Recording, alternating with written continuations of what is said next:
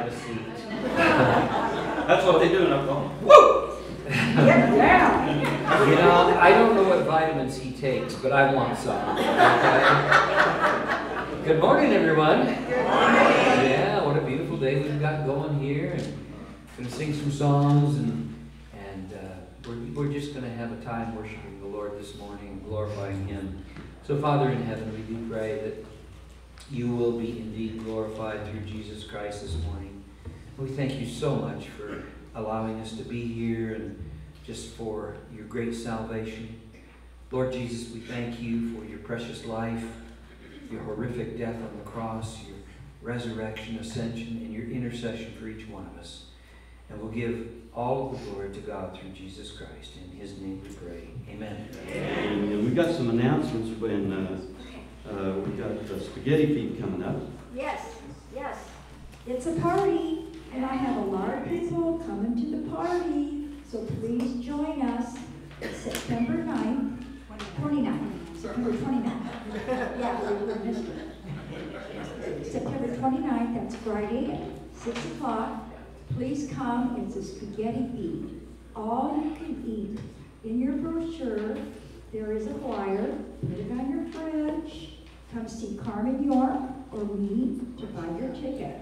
And then the funnest part, or the most funnest, is that English. So the most fun is if you bring your dessert, we'll auction it off, and uh, then we get to eat that. And so please come, that helps Women's Fellowship uh, fundraiser, and it's the biggest party of the year. But please don't miss it. And there'll be door prizes. And Lenora makes the best spaghetti. And Lenore makes the best spaghetti in town.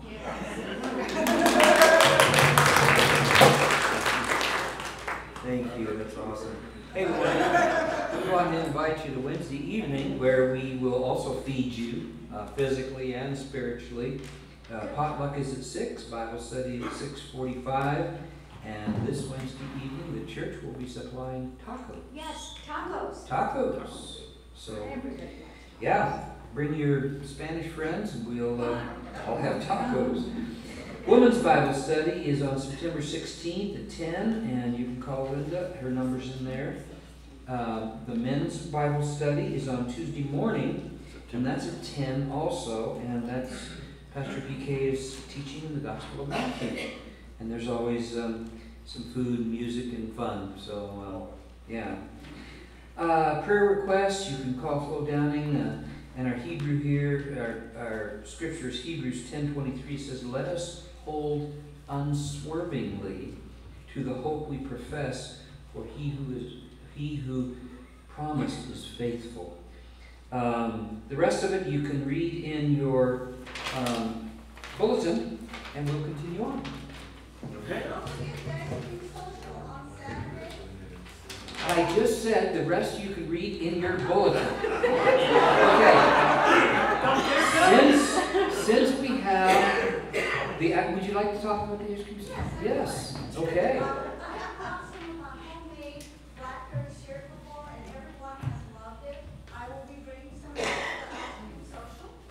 I will be bringing a big cake, because it's Jeff's birthday on Friday, and we'll celebrate Saturday.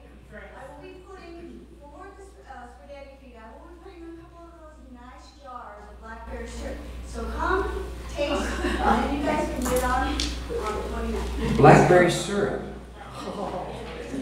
But- And that's for men and women, um, anybody can come?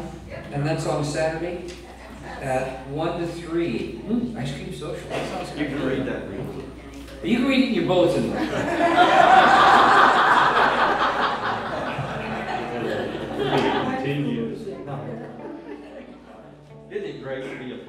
loving church family. Yes. Let's have a little talk with Jesus in your praise book number 30. Amen. Just a little talk with Jesus in your praise book number 30.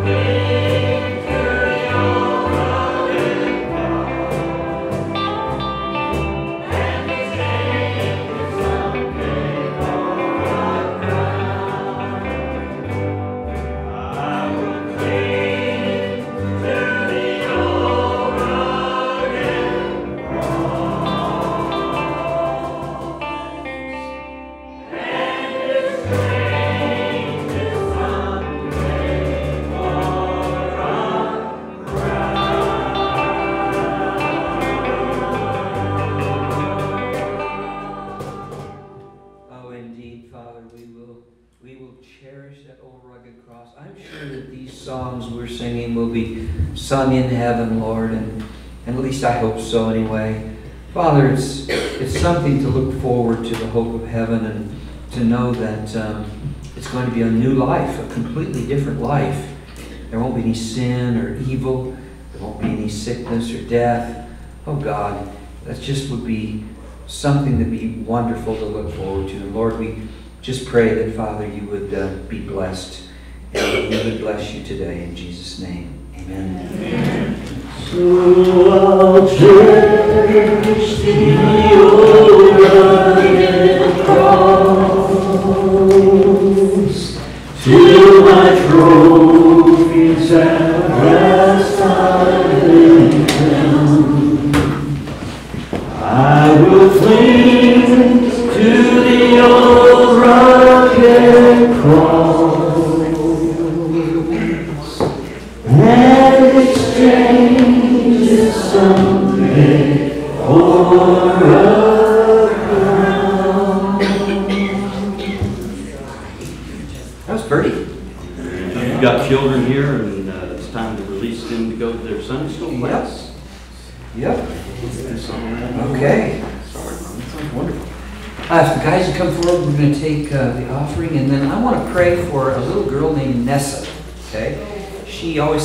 front here. She's got a um, a tweed tan. Did you see her in church today? She was running around here, so we want to pray that uh, she gets her hand healed. Anybody else would like uh, prayer today? Uh, we'll do it silent. Anybody? Yes. Okay. You bet. Yes. Yes. Jimmy, he goes in for surgery. Uh, Jim goes in for, yeah, Jim goes in for surgery. Okay, we'll be praying for him. And, yeah. Father in heaven, we do end up holding all these folks to you up in prayer, Lord. And Lord, you know what each one of us needs to worship you and to be happy in this life. We just pray that, Father, you'd bless each one, that you'd bless little Nessa with her hand and heal it, Lord, soon, that you'd give uh, Jimmy a completely um, successful operation, Lord, that, uh, that he can uh, have a, a good life until the rapture. And Father, we just pray that the rest of the people that uh, raised their hands and those that didn't, Lord, we know that we all have needs, Father, and things that we want to bring before you. So, Lord, I give this minute of silent prayer to you, Lord.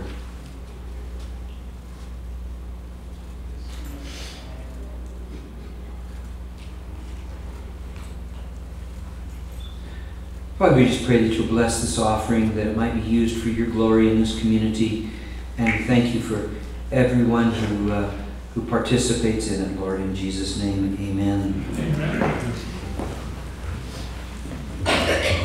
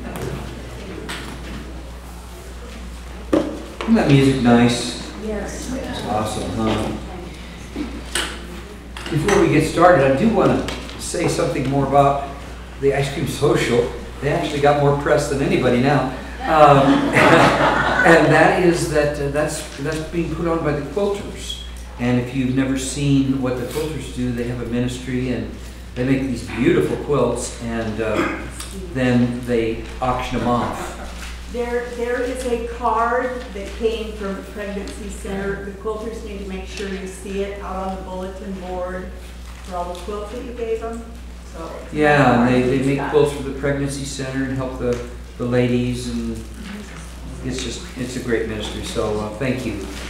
Yeah. Well, let's pray. Father in heaven, we want to thank you for your word. We do pray that you'll bless it, that you'll grant us wisdom and discretion, understanding and knowledge as we study it. We pray that your Holy Spirit will fill us.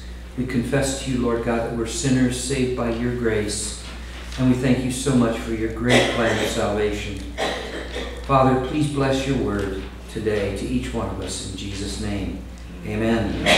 Um, turn to Revelation uh, chapter 1, and um, we'll start there, and we're going to we're going to segue off into a couple other scriptures that you'll find very interesting. They go along right along with this book. Revelation is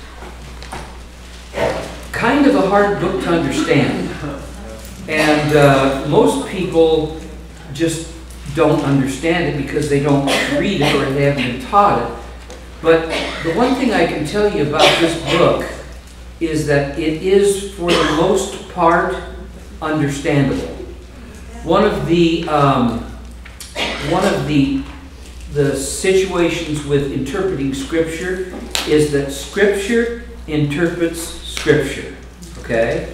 So when we look at the book of Revelation, all right, we see that these strange um, things that we that we read about have probably been mentioned somewhere else in the Bible.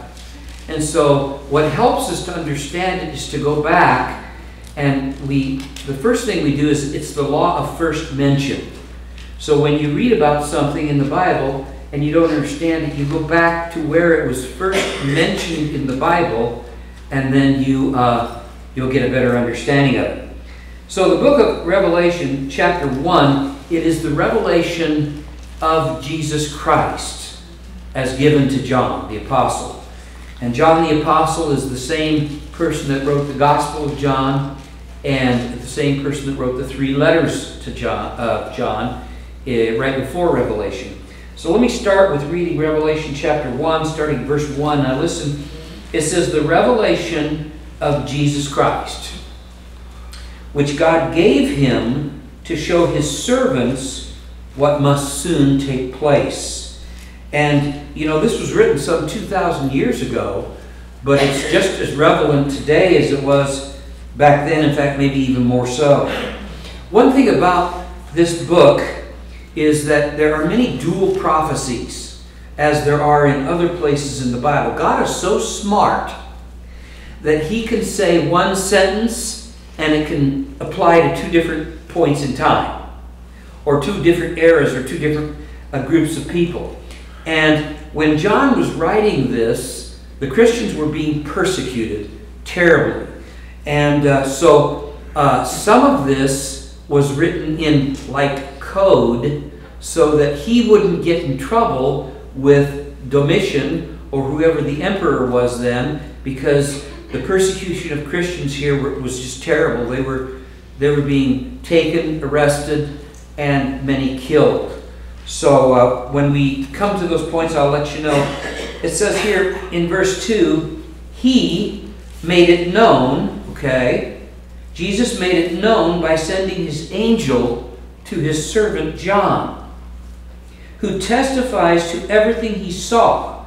So this is eyewitness testimony that we have of Jesus Christ, the Word of God, and the testimony of Jesus Christ. We read in Revelation 19:9 last week that the testimony of Jesus Christ is the spirit of prophecy. All right? So, Jesus Christ was not only the greatest prophet that ever lived, but he was also, his words were prophetic in their uh, meaning. Now, this is a wonderful, verse 3, this is a wonderful promise, and it's the only promise like it given in the Bible. It's a blessing. It says, Blessed is the one who reads the words of this prophecy. Okay, so that's me right now. It says, Blessed are those who hear it. That's you right now. And take it to heart what is written in it because the time is near. And if the time was near 2,000 years ago, it's really near now. All right? So let's just uh, take off from there and turn over to the Gospel of John, chapter 1, okay? Because uh, this uh, first chapter is just an amazing expose of Jesus Christ. So, you know, people, people say, well, you know, the book of Revelation is about the future. Yes, there is future mentioned in it, there's past mention in it, but the book of Revelation is the revelation or the revealing of Jesus Christ. Now, the Gospels were the revealing of Jesus Christ as coming the first time as Savior, weren't they? The suffering Savior. Well, let me tell you something. The book of Revelation is the revealing of Jesus Christ coming as the King of Kings and Lord of Lords. The Old Testament believers did not understand the two. They thought that perhaps there was two saviors, one who would be suffering and one who would be king. They just couldn't understand that this would be one and the same savior in two different comings. So in John chapter 1, and this is a very, very important passage of Scripture, John tells us about the Word. All right? It says, In the beginning, and this could be translated the beginning that has no beginning, because God didn't have a beginning. Okay? So, in the beginning, which really wasn't the beginning, was the Word. And the Word was with God, and the Word was God. This word that I'm speaking to you, to you today belongs to me. Okay, it's my words, you know, and when I speak out of here, that's God's words. We have the Word of God spoken in uh, Genesis chapter 1 and 2, 3. We have the Word of God living in Jesus Christ, and we have the Word of God written in our own language sitting on our laps. And that's amazing. The Word of God is the most precious commodity in the entire universe. What you have in your lap right now is more precious than anything you can name in the entire world. In the beginning was the Word, and the Word was with God, and the Word was God. Now you'll notice in chapter 2, or excuse me, in verse 2, he personalizes it. He says, He, that would be speaking of the Word, was with God in the beginning. Through him, all things were made. Without him, nothing was made that has been made. Okay? So, through the Word of God, all of the universe was created. Everything. And, you know, what does that do to the Big Bang Theory, the theory of evolution, etc.? Well, it, um, it kind of destroys it because everything was created by Jesus Christ. And you can, re, uh, you can review that. There's another witness to that in the book of Colossians. Okay? It says here, in him, that would be speaking of in Jesus, in the Word, was life. And the life was the light of men. You know, it says in the book of Revelation in the last couple chapters that we will not need the sun or the moon in heaven to give light. You know why? Because God is light. And Jesus is the light of the world. And we're going to see that his face, which John sees, shines like the brilliance of the sun. It says here, this life, that life was the light of men. The light shines in the darkness, but the darkness has not understood it. You know, it's hard for us to understand why people don't come to the Lord and don't accept the provision of salvation, the pardon of sins. It's a free gift from God. Jesus Christ paid the price, a very expensive price, his life.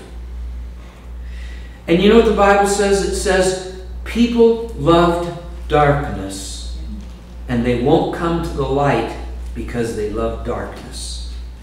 You know, if you think about that for just a minute, it says that hell will be comprised of the darkest darkness, outer darkness, so dark that you can't see your hand in front of your face. There will be no light at all. And here it says that God is light, doesn't it? That Jesus Christ is the light of the world, the Bible says. And in hell, there will be no fellowship with God for eternity. Eternity. How serious is that? I mean, that's amazing. It says that people will gnash their teeth and they will cry out and scream. And I don't know about you, but that just doesn't sound like a very pleasant place to me. So the good news is is that through Jesus Christ, okay, through his provision and pardon on the cross, through his life, through his death, his resurrection which gives us hope, his ascension which gives us a picture, his intercession which gives us access to the throne of grace, we know because we've accepted Jesus Christ in our life as Savior, we know where we're going. We know what the last page of the book says. We're going to heaven, folks. We have the hope of heaven. Now, let me ask you this. How important is that? I mean, how really, really important is that? Well, we'll deal with that in a minute. Here it says in, in I'm going to re- repeat verse 5 The light shines in the darkness, but the darkness has not understood it. The darkness is actually hostile to the light. There came a man who was sent from God. His name was John. This is John the Baptist. He came as a witness to testify concerning that light, speaking of Jesus, so that through him all men might believe. You know, there's a teaching, a very famous teacher, that says that Jesus Christ only died for those who would believe. Now, that's not true. It says in Peter that God is not willing that how many? Anyone should perish, but that all should come to the knowledge of the truth. God wants us all to know the truth. He wants us all to be happy, not only in this life, but He wants us to make it through to the next life successfully. And here it says that uh, it says that so through Him all men might believe. He himself was not the light, that's John the Baptist. He came only as a witness to the light. The true light that gives light to every man was coming in the world. He was in the world.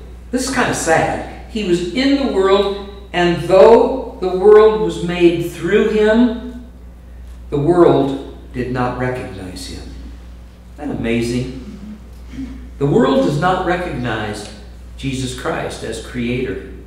And that's just very sad. I mean, in uh, Romans chapter 1, it says that the creation testifies about the creator. The sunset, the, the flowers, the animals, the bees, the, the ocean, the rivers, the lakes, all of nature, a little baby. It all testifies there is a God, there is a God, there is a God. There's no excuse for mankind to stay in darkness because there is a God. And God has made it plain to them. It says here that uh, He himself was not the light. He came only as a witness to the light, the true light that gives light to every man was coming into the world. He was in the world, and though the world was made through him, the world did not recognize him. He came to that which was his own. That's the Jews. But his own did not receive him. So you know what he did? It said, Yet to all who received him, to those who believed in his name, he gave the right to become children of God. The Bible tells us that when we accept Jesus Christ as our Lord and Savior, we become adopted into the family of God. We become children of God. And I don't mean to be disrespectful here, but the Bible tells us that Jesus Christ is our brother. Now, I know about you, but having a King of Kings and Lord of Lords as your brother, that's a pretty, pretty neat deal. I mean, I don't think we really realize the value of our, of our salvation. There's so much involved in it.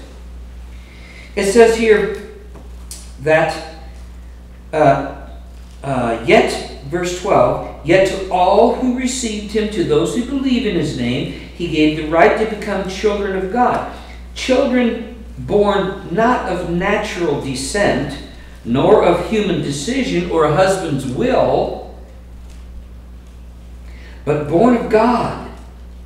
Now, this, I love verse 14.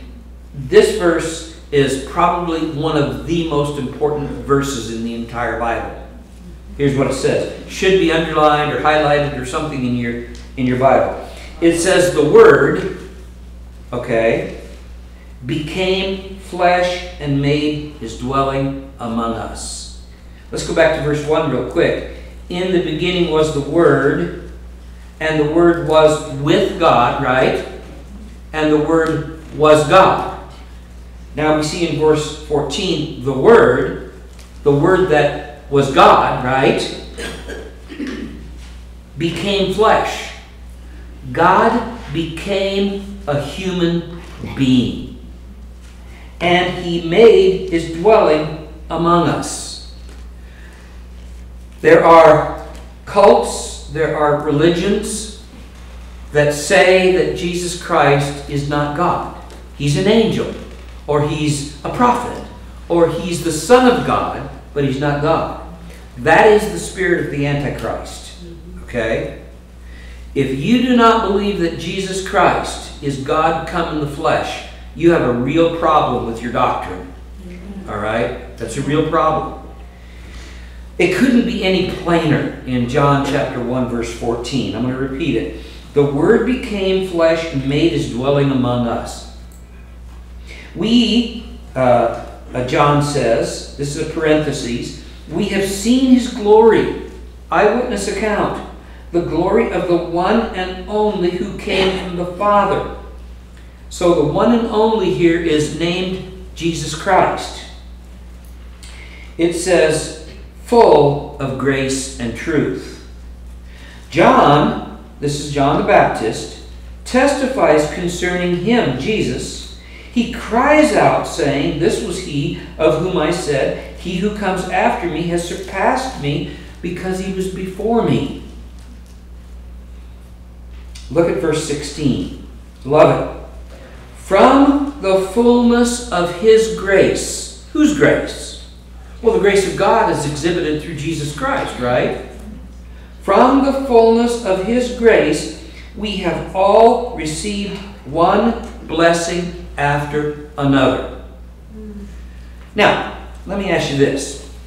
Where does discouragement, depression, disillusionment, worry, anxiety, where does all that fit in that sentence? It doesn't, does it? No. Let me read it to you again. From the fullness of His grace, we have all received one blessing after another. In the book of Ephesians, chapter 1, it says that God has given us every spiritual blessing in the heavenlies to each one of us. We have a full checkbook. God's given us a checkbook that's full of blessing. And you know what he says? Go out and write out checks. Okay? Write out checks to your neighbor.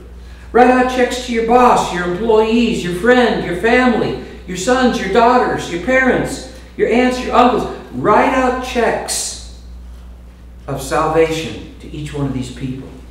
And you know what most Christians do? They put the checkbook in their pocket. Isn't that sad? It's just sad. We shouldn't do that. We've got an unlimited checking account of blessings. Let's go share them. Every single chair in this auditorium should be full. Should be full. Why? We're teaching the Word of God, aren't we? We're a pretty friendly church, right? Okay, we got that down. We have snacks. I mean, it doesn't get much better than that, does it? And yet we've got seats that are empty. Well, people could say, well, that's the pastor's fault. Pastor's fault. Well, I'm one guy. Maybe I can go out and talk to 10 people in a day, right? And if one of them accepted the Lord or came to church, I would consider that a victory. But here we have about 80 people in here. What happens if 80 people go out in a day and speak to one person? Now we've got 80 people spoken to. Let's just say 1% of them respond, that's 8 people. How long would it take to fill up these pews? Not very long. Probably a couple months, they'd be all full. I'm encouraging you to go out as we see the time getting short and talk to your neighbor, talk to your grandchildren, talk to your children, talk to your people at work, talk to anyone who will listen to you. Okay? And you know what? If they don't want to hear it, don't shove it down their throat. This is too valuable of what we've got to shove down somebody's throat. If they don't want it, you know what? Plant a seed if you can. God will bring someone else along to water the seed, and only God can give the growth, right? Okay, well, let's finish up here. It says, From the fullness of His grace, we have all received one blessing after another. For the law was given through Moses, grace and truth came through Jesus Christ.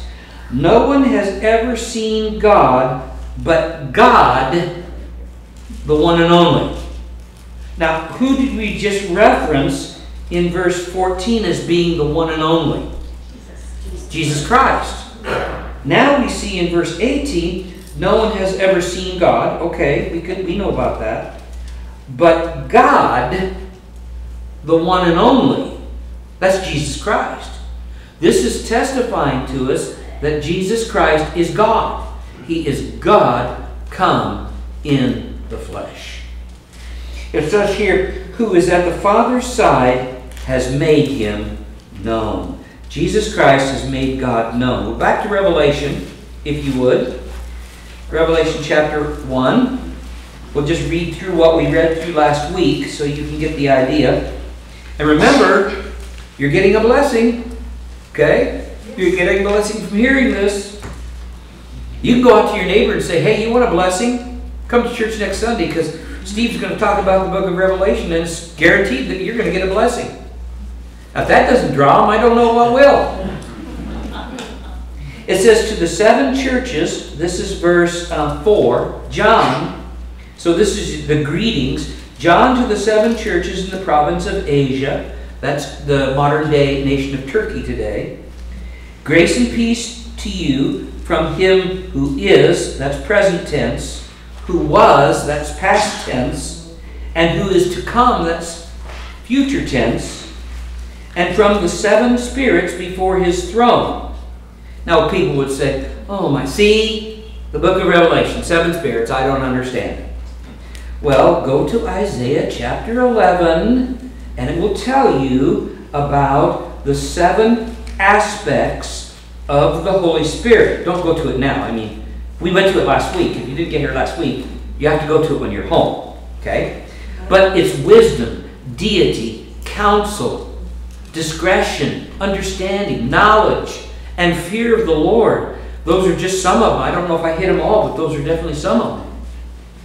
So it says here, It says, Grace and peace to you from him who is, and who was, and who is to come, and from the seven spirits before his throne. We're going to see that in Revelation chapter 4. And from Jesus Christ, who is the faithful witness, the firstborn from the dead. He was the firstborn, first one to rise from the dead, and the ruler of the kings of the earth. On the way here, I don't know why. I, my imagination goes kind of wild sometimes. But I was thinking about this scripture, the kings of the earth. And I was thinking, you know, now uh, Charles is called the King of England, right? If you know anything about Charles, he's kind of a goofball, but anyway, uh, he's the King of England. What does he do? What did the Queen do? Didn't do anything. And yet, he is in this powerful position as King of England. Well, guess what? Jesus Christ is King of Kings and Lord of Lords. Yeah, He's the King. He's the real King. Well, it says here, to Him who loves us and has freed us, that's past tense, by the way, from our sins by His blood, and has made us to be a kingdom and priests to serve His God and Father. To Him be glory and power forever and ever. Amen. Verse 7 Look, he is coming with the clouds, and every eye will see him, even those who pierced him. And all the people of the earth will mourn because of him. So shall it be. Amen. Jesus is speaking here in verse 8 I am the Alpha and the Omega. That means the beginning and the end. Says the Lord God who is, and who was, and who is to come, the Almighty. Isn't that just powerful? Now let's go to this is where we left off last week. So, you know, we, we could probably finish this up by about two. Verse 9 I, John, your brother and companion in the suffering and kingdom and patient endurance that are ours in Jesus. You know, no one said that this Christian life is easy. In fact, life, whether you're a Christian or not a Christian, is just not easy. One of my favorite sayings to God, fortunately, he has a sense of humor, okay, is why can't anything go right the first time? Does anybody else ever say that? Why can't things just go right? I, John, your brother and companion in the suffering and kingdom and patient endurance that are ours in Jesus, was on the island of Patmos because of the Word of God. So, this is a rocky outcropping 55 miles west of where Ephesus was, okay, in the nation of Turkey. And John was put there by the Roman government because he was the pastor of the church at Ephesus and they were persecuting Christian believers. That's what happened. In fact, he even tells us, he says, and the testimony of Jesus, so that's why he was there. On the Lord's Day, now this probably means a Sunday, all right, but it could refer to something else, but I think it refers to Sunday. So on the Lord's Day, I was in the Spirit.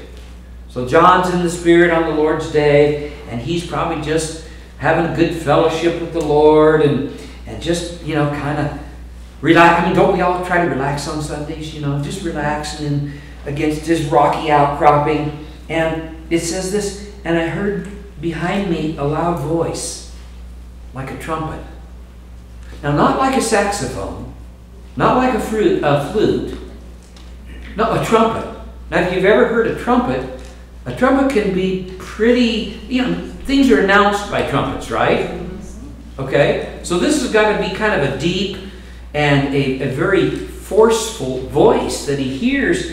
And it says, I heard behind me a loud voice like a trumpet, which said, Write on a scroll what you see. Eyewitness account.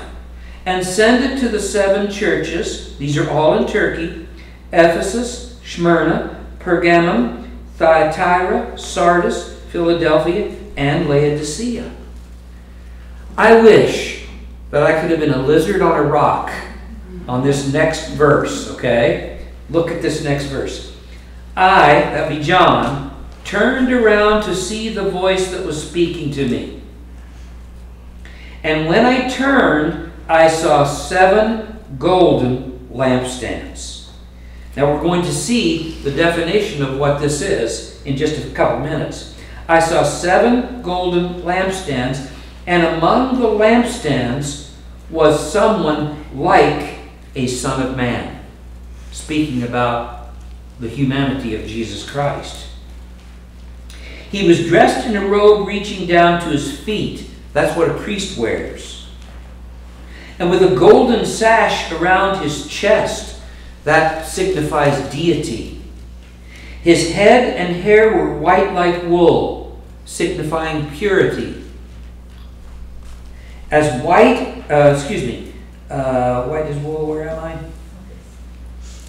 White as wool, as white as snow, and his eyes were like blazing fire.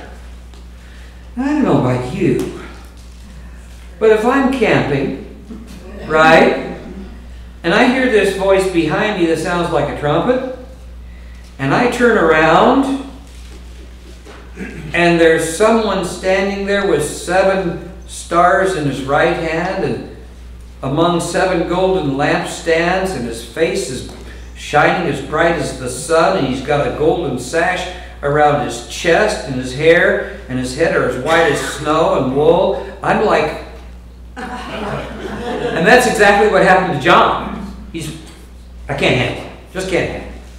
Let's go on. It says this. It says his head and hair, verse 14, were white like wool and white as snow, and his eyes were like blazing fire.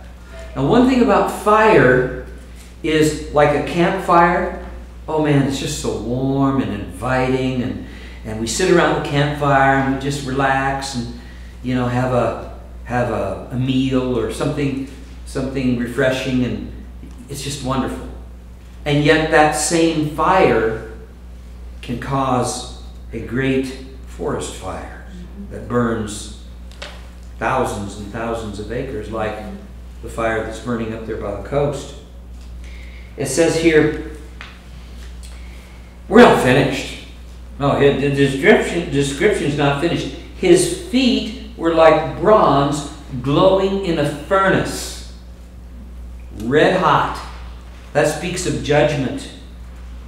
And his voice was like the sound of rushing waters. If you've ever camped by a uh, by a, a series of rapids or a waterfall, you know exactly what I'm talking about here. What, go to Niagara Falls or go up here to Prospect to one of those falls, Mill Creek or something. Man, when water when water gets to going, it's loud, isn't it? Very authoritative. It says here, his voice was like the sound of rushing waters. In his right hand, he held seven stars, and out of his mouth came a double, a sharp, double-edged sword. His face was like the sun shining in all its brilliance. Whew. Let me read something to you out of Hebrews chapter 4. You don't have to turn there, but it's about the Word of God. Listen to what it says here. Because this goes right along with what John saw and heard. It says, For the Word of God is living, it's alive. It's alive right on our laps, it's alive in Jesus Christ. The Word of God is living and it's active. It's sharper than any double edged sword. Now it tells us what it's able to do. It's sharper than any doctor's scalpel. It penetrates even to the dividing of soul and spirit. That's pretty sharp. Joints and marrow, it judges the thoughts and attitudes of the heart. Nothing in all creation, do you have that now? Nothing in all creation is hidden from God's sight. Everything is uncovered and laid bare before the eyes of whom we must give account. Now, the Christian is going to give account at the Bema seat of Jesus Christ. That's where rewards are going to be handed out. In Corinthians chapter 3, it talks about it. And it says this it says that the fire will determine the value of the rewards. If our works are gold, silver, and precious stones, they'll they'll stay. They'll the fire will not burn them up. But if they're wood, stay in wood, straw, wood, hay, and stubble, wood, hay, and straw, they'll be they'll be burned up. And you know, I, I wonder. This is just my opinion, but I wonder when we get in front of the bema seat of Jesus Christ and we see Him, you in His glory. I mean, just as John described Him here in chapter one, that's how we're going to see Jesus Christ in His glory. And those eyes, are they going to be in eyes? Are they going to be the eyes that that see gold, silver, and precious stones, or are they going to be the eyes that burn up the wood, hay, and stubble? I just wonder about that. I know that there's not going to be any suffering, pain, death, or unhappiness in heaven. And maybe, just maybe, this is again me, maybe this is where God wipes away all the tears.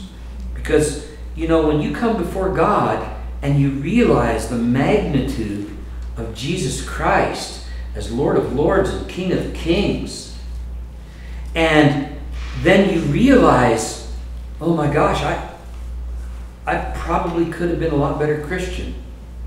You know what I mean? You wonder whether that's going to be where God wipes away the tears from our eyes.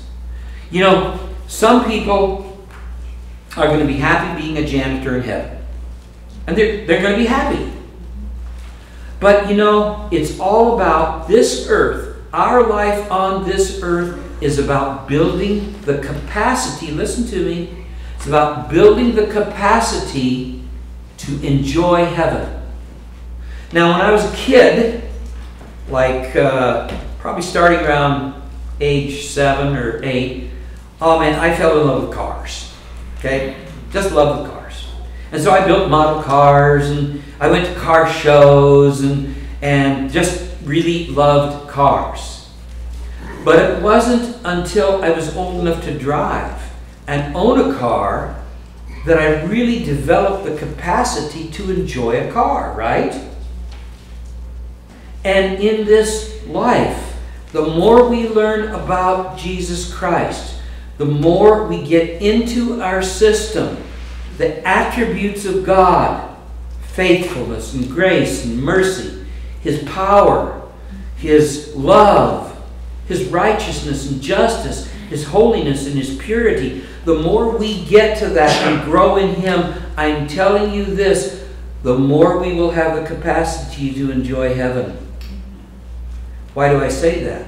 The Word of God lasts forever and ever and ever. So, you know, it's said, it said that he who dies with the to- most toys wins.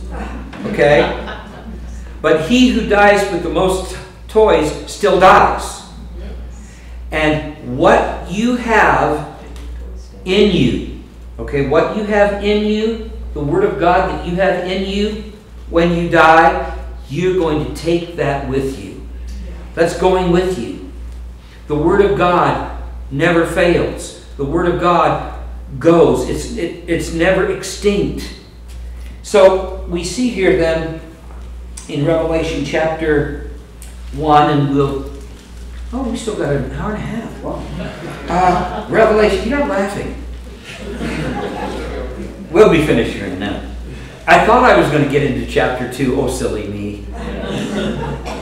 It says here in verse, um, I'm, going to read verse 16 over again.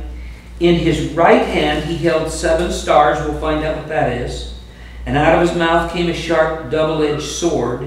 His face was like the sun shining in all its brilliance. When I saw him, I fell at his feet as though dead. John flat out fainted. He just fainted. Then he placed his right hand on me and said, Do not be afraid. I am the first and the last. I am the living one. I was dead, and behold, I am alive forever and ever, and I hold the keys of death and Hades. We're going to study that as we get especially into Revelation chapter 9 when uh, he, the angel is given the keys to the abyss, the bottomless pit, and he opens it, and the demonic uh, fallen angels come out. One thing you can't say about Revelation is this definitely interesting, huh? It says here, so God says this, Jesus says this to, to John. Verse 19 is the entire outline of the book of uh, Revelation, okay? He says, Write therefore what you have seen. What did God what did John see? Well, he just saw Jesus Christ, didn't he? Revealed in his glory. What is now? What is now is the church age. John lived in the church age. Revelation chapter 1 is what he sees. Revelation chapter 2 and chapter 3 uh, is the seven letters to the church. That's the church age. And we're going to explore that next, start exploring it next week if the Lord will come on Saturday. It says this, Write therefore what you have seen, what is now, that's the church age, and what will take place later. Now, Jesus explains the seven lampstands and the seven stars. He says, The mystery of the seven stars that you saw in my right hand and of the seven golden lampstands is this The seven stars are the angels of the seven churches. That's the word angelos, and it means messenger. Okay? And the seven lampstands are the seven churches. That's the mystery. So he's standing among the seven churches. What does the number seven indicate to us in the Bible? Completion and perfection, huh? So when we see him standing among the seven lampstands, he's standing among the complete age of the church. Okay? From the resurrection, from Pentecost, all the way to the rapture. That's the, that's the age of the church. Okay? And so he says the mystery of the lampstands was that they are the seven churches. Well, does a lampstand give light in and of itself? No. It's got to have some oil in it, or a candle on it, or something, right? So the churches, okay, as the lampstands, do not give out the light unless the Holy Spirit is in that particular group of people. And I'm telling you, we have the opportunity in this church right here to influence the 7,000 people that live in Eagle Point, the people that live in White City, Sam's Valley, even Trail, Shady Cove, as far as Central Point. We have the ability to reach those people. We have the ability to fill every single ch- chair in this, in this uh, auditorium. The question is, will we do it? We. Okay? Well, let me continue on. So it says here that the seven uh, stars are the, are the angels of the seven churches. So there is some debate by commentators does this mean actual angels? Okay? Or are the messengers the pastors? Well, we know for sure, at least in this case, in Butte Creek Baptist case, that the pastor isn't an angel. Okay? So we can we can definitely, you know, decipher that. I couldn't resist. So in chapter 1 of the book of Revelation, what did we learn? Well, we learned about the Word of God. We learned about the blessing that's associated with reading, hearing, and doing this particular Word. We learned about the glorified Jesus Christ and how magnificent He is going to be. And in chapter 2, starting next week, we will start with the seven churches. I don't know how far we'll get. The good thing about teaching a book like this is it doesn't make any difference how far we get. Okay? If I get through three verses, I get through three verses. If I get through five, I get through five. What's important is that we leave here understanding what this book, this fabulous book, says to us, okay? So that we can take it into our lives and we can actually live it, as verse 3 says. So pray with me, would you? Dear Father in heaven, please forgive me for my sins. Give me a hunger for your word. Give me boldness to, to, uh, to profess your word. And Lord God, please bless it in me. In Jesus' name. Amen. Are you enjoying the study? Yes. Okay, good. Because I'm only charging four ninety-five per head. Darn, I was off there. You were off by four yes. Amen. If you're here today and you need prayer for anything, the altar's open at the end of the service. And uh, we're going to stand and sing and praise Jesus' name as we leave. But uh, if you have prayer, if you need prayer for anything, or if you have accepted Jesus Christ as your personal Lord and Savior, or if you want to and you want someone to lead you through that, uh, feel free to come down as everybody else is leaving. You can just work your way through. And uh, let's sing that. Uh, Lord, listen to your children pray. Okay. If you want to do that, let's Sure. sing that out. It goes like this. Lord, listen to your children praying. Lord, send your spirit in this place. Lord, listen to your children praying. Send us love,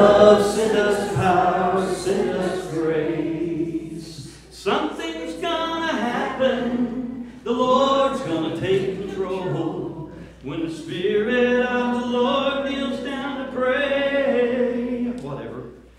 Gonna move mountains. He's gonna save our souls. When the children